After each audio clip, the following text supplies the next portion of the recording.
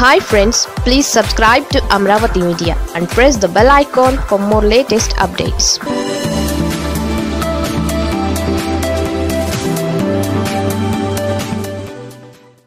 ఏపీలో ఎంఐఎం ఎంట్రీతో కంగు తింటున్న టీడీపీ. ఆంధ్రప్రదేశ్ రాష్ట్రంలో మున్సిపల్ ఎన్నికల పోరు కొనసాగుతోంది. ఈ మున్సిపల్ ఎన్నికలలో ఆసక్తికర పరిణామాలు కూడా చోటు చేసుకుంటున్నాయి. ఏపీలో మున్సిపల్ ఎన్నికల్లో ఊహించిన విధంగా ఎంఐఎం పార్టీ ఎంట్రీ ఇవ్వడంపై ఆసక్తికర చర్చ జరుగుతోంది. గత సాధారణ ఎన్నికలలో చంద్రబాబుని టార్గెట్ చేసిన ఎంఐఎం అధినేత అసరుద్దీన్ ఓవైసీ చంద్రబాబుకు రిటర్న్ గిఫ్ట్ ఇస్తామని పేర్కొన్నారు. అందులో భాగంగా వైసీపీకి మద్దతును ప్రకటించి మైనారిటీ ఓటు బ్యాంకును వైసీపీకి మళ్ళేలా చేశారు. ఇక ఇప్పుడు ఏకంగా ఏపీలో ఎంట్రీ ఇచ్చి ఎన్నికల బరిలోకి దిగుతున్నారు. విజయవాడ కర్నూలు కార్పొరేషన్లలో ప్రొద్దుటూరు మున్సిపాలిటీలో ఎంఐఎం పార్టీ నామినేషన్లు దాఖలు చేయడం ఇప్పుడు ఆసక్తికరంగా మారింది. ఎంఐఎం ఎంట్రీ వెనుక అధికార వైసీపీ వ్యూహం ఉందని ఏపీ రాజకీయాల్లో చర్చ నడుస్తోంది. విజయవాడలోని యాభై యాభై నాలుగు డివిజన్లలో ఎంఐఎం అభ్యర్థులు పోటీలో ఉన్నారు.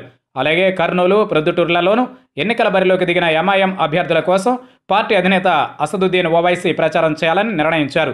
అంతేకాదు హిందూపురంలో టీడీపీకి వ్యతిరేకంగా ఎంఐఎం పార్టీ ముఖ్యులు పర్యటించి ప్రచారం చేయాలని భావిస్తున్నారు. విజయవాడలోని యాభై యాభై నాలుగు డివిజన్లలో బరిలోకి దిగిన ఎంఐఎం అభ్యర్థుల కోసం నాంపల్లి ఎమ్మెల్యే జాఫర్ హుస్సేన్ ప్రచారం చేస్తున్నారు.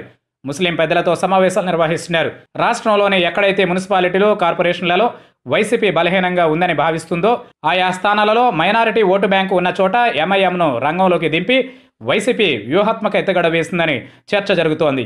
ఏపీలో టీడీపీకి వైసీపీకి హోరాహోరీగా పోరు ఉన్న స్థానాలలో ఎంఐఎం నాయకులు ఎన్నికల బరిలోకి దిగిన వైసీపీ నేతలు నోరు మెదపకపోవడం అందుకు కారణంగా కనిపిస్తోంది. రాజధాని అమరావతి ప్రభావం ఉన్న విజయవాడ గుంటూరు తదితర నగరాలపై టీడీపీ పట్టు కొనసాగుతుందని భావిస్తున్న నేపథ్యంలో టీడీపీ ఓటు బ్యాంకును చీల్చితే తమకు విజయం సులభం అవుతుందని భావించిన వైసీపీ ఓటు బ్యాంకు చీలిక కోసం ఎంఐఎంని రంగంలోకి దించింది అని చర్చ జరుగుతోంది. వైసీపీకి ప్రతికూల పరిస్థితులు ఉన్న చోట మాత్రమే ఎంఐఎం ఎన్నికల బరిలోకి దిగింది అని టీడీపీ నేతలు ఏపీలో ఎంఐఎం పోటీపై మల్లగొల్లాలు పడుతున్నారు.